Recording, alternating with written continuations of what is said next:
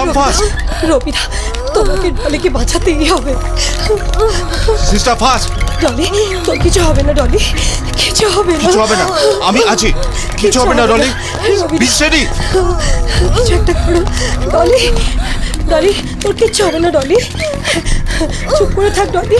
Sister একটু কাম সহ্য একটু সহ্য করে নে বাবা। তোর কিচ্ছু হবে না। কিচ্ছু না।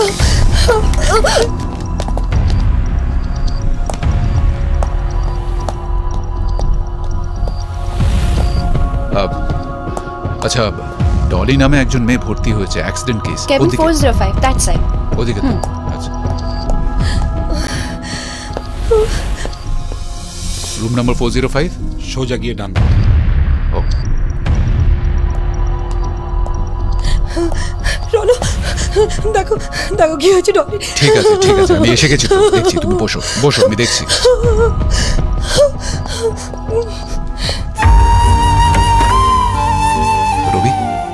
কি অবস্থা? কি?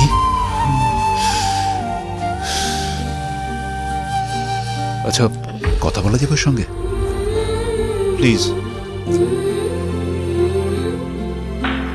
সিস্টার ইঞ্জেকশনটা ডলি ডলি ডলি কষ্ট হচ্ছে না? এসেছ জয়বাবু। যা হয়েছে সব আমাকে খুলে বলো। কোনো সংকোচ করবে না। কাল বিকেলে আমি বাজারে গিয়েছিলাম কয়েকটা জিনিস কিনতে। ফিরতে একটু সন্ধে হয়ে যায় হঠাৎ একটা গাড়ি টলি টলি। হ্যাঁ জি। চর মারবে। না। জি। এবার দেখো। আমাকে ছেড়ে দাও।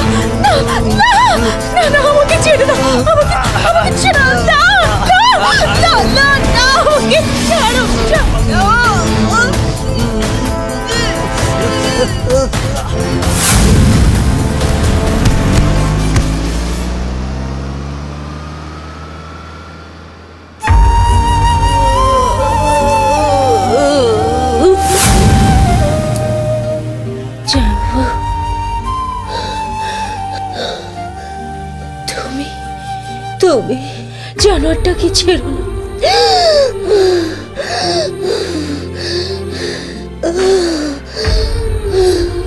যে যে আমার এই হাল করেছে। রবি ওকে দেখ একটু সর তুমি তুমি ওদের তুমি ওদের ছাড়বে না ছাড়বে না কুল ডাউন ওকে ছাড়বে না ছাড়বে না।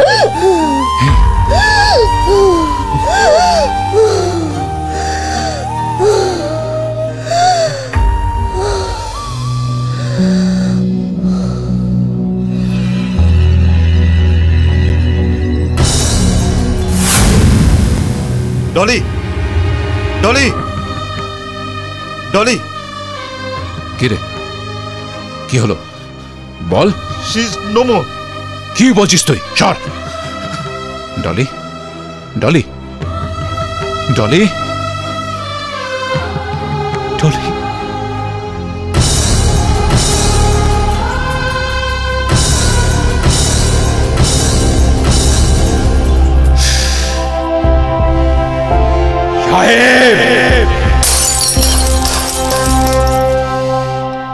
এই যে লক্ষ্মী হ্যাঁ? তোমার সুপুত্র কোথায়? এই তো খানিকক্ষণ আগে ফিরলো। কোথা থেকে যে ছাই ছাইপাশগুলো গিলে আসে সোজা হয়ে দাঁড়াতেই পারছে না। সোজা হয়ে দাঁড়াবে কি করে? বাপের পয়সায় সালা ফুটুনি করছে। নিজের পায়ে দাঁড়াবার সময় কোথায় তার? তোমাকে তো কতবার বলেছি ওর এবার একটা বিয়ে দাও। কি হবে বিয়ে দিয়ে হ্যাঁ? কি হবে? সেই তো রাস্তায় রাস্তায় ঘুরে ঘুরে কাবে তাছাড়া কোলাসার রাস্তায় ঘুরে বেড়াচ্ছে ভালো আছে। শুধু ওকে বলে দিও যদি কোনো আইবুড়ো মেয়ে পেটে ইয়ে নিয়ে দাঁড়ায় আমার সামনে এসে ওকে আমি তেজপুত্র করব। সাহেব রেডি কোথায়? এই অফিসার। কোথায় আপনার ছেলে? এদিকে সাহেব রেড্ডি কোথায়? আমার বাড়ি তো থানা নয়। সাহেব রেড্ডি কোথায়? লাস্ট টাইম কি করেছিস ডলি মুখার্জিকে রেপ করে মার্ডার করেছে এটা তার অ্যারেস্ট ওয়ারেন্ট আজকে তোমাদের সামনে ওকে মারতে মারতে আমি নিয়ে যাব! সুরের বাচ্চা এই এই অফিসার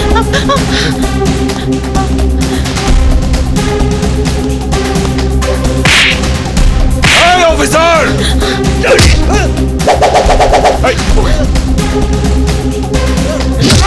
এই মারবে না আয় চল এই অফিসার এই চল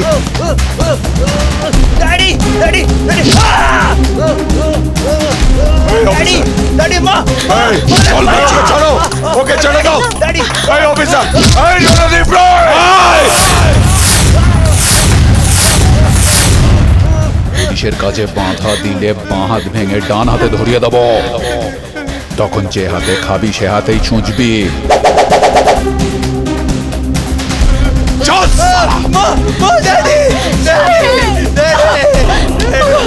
ওকে কিছু করো। ওরা সাহেবকে নিয়ে যাচ্ছে চুপ তুমি সালা আদর দিয়ে ওকে বাদর করেছ। আরে রেপ করেছিস কর মার্ডার করে দিবি এবার কে সামলাবে? ইডিয়েট চল। বল্টু বাবু লক আপ করুন।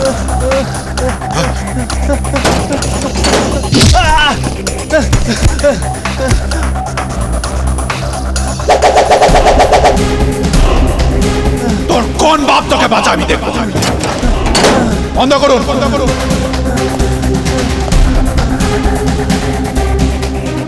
রঞ্জন বাবু হ্যাঁ স্যার। এবার লিখুন। ওকে। আরে এটাতে ডলি জবানবন্দি আছে। সেফ কাস্টাডিতে রাখবেন। ইয়েস স্যার বল্টু বাবু. চাবিটা। লক আপের চাবিটা আমার কাছে রইল। Okay sir. ওকে।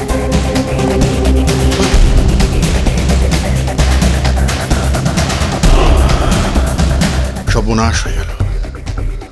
মনে হচ্ছে কোনো একটা লন্ডবন্ড হতে চলেছে।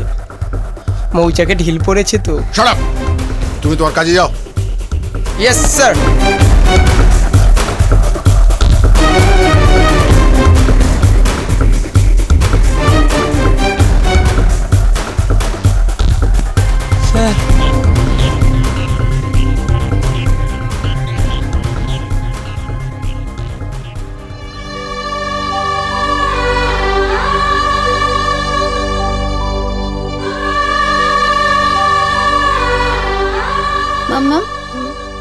মাসি কোথায় যাচ্ছে?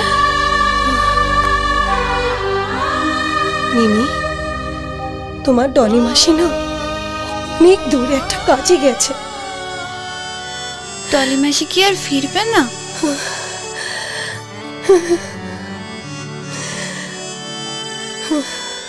না মা তোমার ডলি মাসি আর কোনোদিন ফিরবে না। অনেক দূর চলে গেছে। তবু মনি রেখো। তবু মনি রেখো। Order, order, order. Proceed. Milord আসামি সাহেব রেড্ডি সেদিন সন্ধ্যায় মৃতা ডলি মুখার্জিকে আচমকাই তার গাড়িতে তুলে নেয়। তারপর দীর্ঘক্ষণ ধরে তার ওপর পাশবিক অত্যাচার চালায়। শুধু তাই নয়, মেলর্ড, প্রমাণ লোপের জন্য একসময় ডলি মুখার্জিকে সে তার চলন্ত গাড়ি থেকে ছুঁড়ে ফেলে দেয়। মেলর্ড, ডলি মুখার্জি তাতে মাথায় আঘাত পান। আর এসবই ডলি মুখার্জির মৃত্যুর অন্যতম কারণ মেলর তাই এই জঘন্য ঘৃণ্যতম অপরাধের জন্য আসামি সাহেব রেড্ডির দৃষ্টান্তমূলক শাস্তির প্রার্থনা জানাচ্ছি মেলর্ড ডিফেন্স কাউন্সিল আপনার কি কিছু বলার আছে? ইয়েস স্যার বলুন।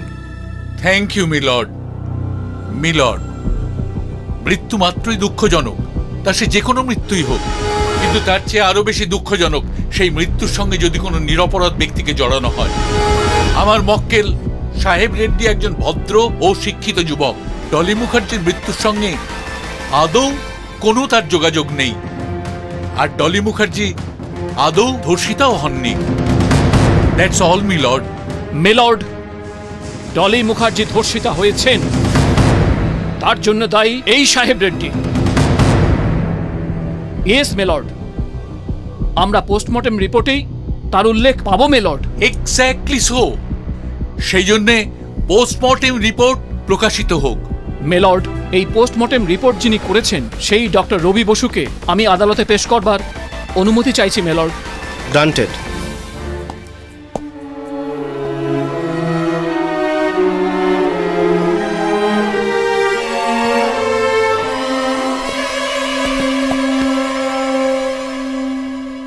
যা বলিব সত্য বলিব। সত্য ছাড়া মিথ্যা বলিব না।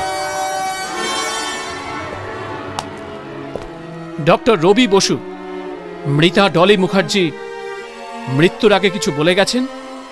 বলে গেছিলেন তো স্যার। ওনাকে একটা গাড়ি এসে আচমকা ধাক্কা মারে। উনি ছিটকে পড়ে যান আর মাথায় আঘাত লাগে। এই কি হ্যাঁ কিন্তু উনি যে ধর্ষিতা হয়েছেন কথা বলেননি? না তো। তুই স্যার ওই তো একটা গাড়ি এসে ধাক্কা মারে পড়ে যায় আর মাথায় আঘাত লাগে।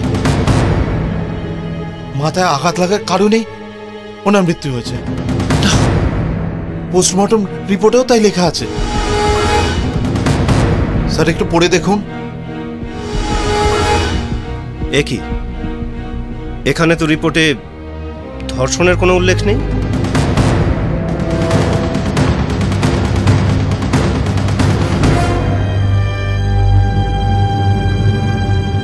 মেলর্ড, এই পোস্টমর্টেম রিপোর্ট ছাড়াও আমাদের হাতে আরও একটা এমন প্রমাণ আছে, যাতে কথা সহজেই প্রমাণিত হবে যে ওই আসামি সাহেব রেড্ডি ডলি মুখার্জির মৃত্যুর জন্য অন্যতম দায়ী। এস মেলর্ড, তাই মহামান্য আদালতের কাছে আমি ওসি রণদীপ রায়কে হাজির করবার অনুমতি প্রার্থনা করছি milord. Granted.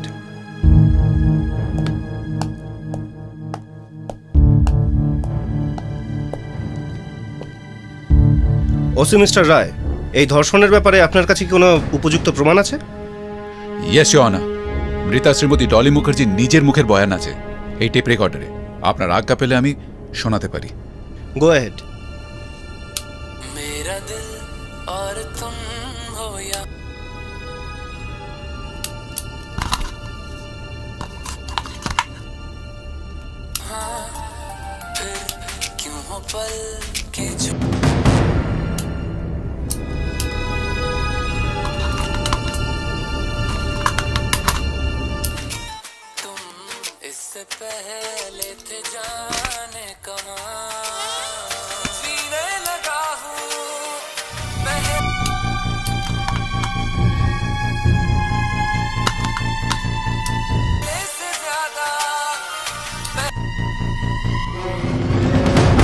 ফরেন্সিক রিপোর্ট অনুযায়ী এবং উপযুক্ত প্রমাণের অভাবে আমি একজন নিরপরাধ ব্যক্তিকে মিথ্যে খুন ও ধর্ষণের অভিযোগে গ্রেপ্তার করার জন্য পুলিশ প্রশাসনকে তীব্র ভর্ৎসনা করছি এবং ভবিষ্যতে এই ধরনের দায়িত্বহীন কাজ করার জন্য পুলিশ প্রশাসনকে সতর্ক করছি এবং আমি অভিযুক্ত সাহেব রেড্ডিকে এই খুনের মামলা থেকে সসম্মানে মুক্তি দিলাম।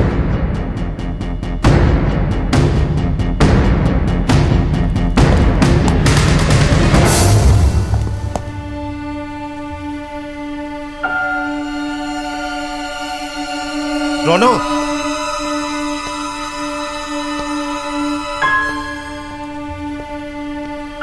রণ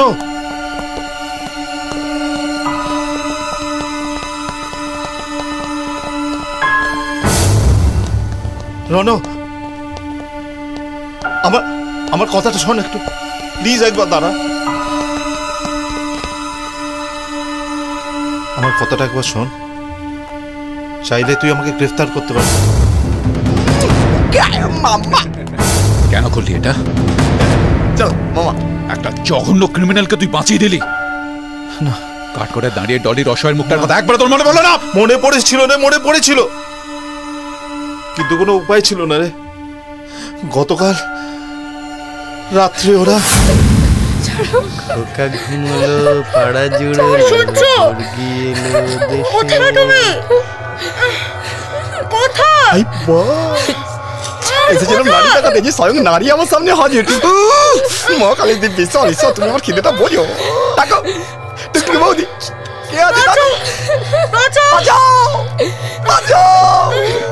বৌদি জোরে জোরে ডাকো নাহলে তো এক্ষুনি ফুলসজ্জা রানিং তেলা শুরু হয়ে যাবে। বাঁচাও। ডাকো। আরে কারা আপনারা? বাবা। এই তো ডাক্তার। আরে বড় দেরি করে ফেললে। আর কখন থেকে আমার টুকটুকি বৌদিটা চিৎকার করে গলার সিসারটাই নষ্ট করে ফেলল। তবে যাই বলো ডাক্তার তোমার বউখানা কিন্তু জানোয়ার কথা। বাঘ আছে রে বাঘ। ক্ষুধার্ত পেট দুটোকেই তুলে নিয়ে যাব একদম।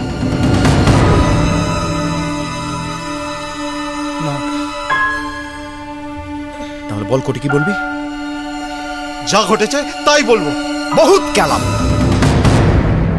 ডাক্তার আমি যা বলছি সেটাই বলবি বল। বলবি না? তাহলে দেখ তোর চোখের সামনে এক্ষুনি বস্ত্রহরণ পালা শুরু হয়ে যাবে। বাবা মাকে বাঁচাও। না ওদের কিছু করবে না। আমায় কি বলতে হবে? বলুন।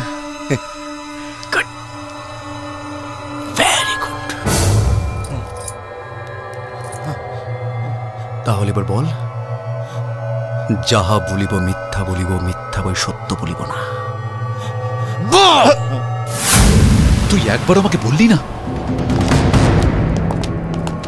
বললেও কিছু করতে পারতিস না রে।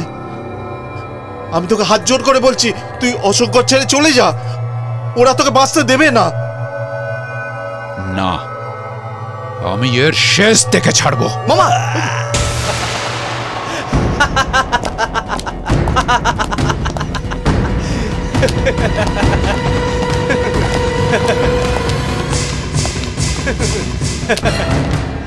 অফিসার দেখলে আমার ক্ষমতা?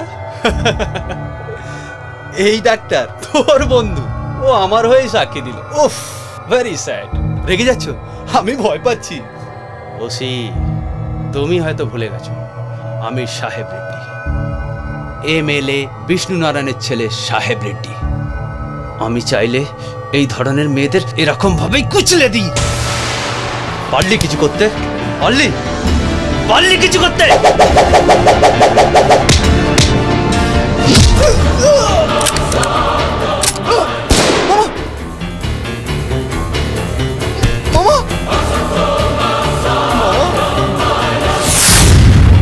রণদীপ রায়।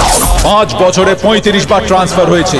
No investigation no time best on spot judgement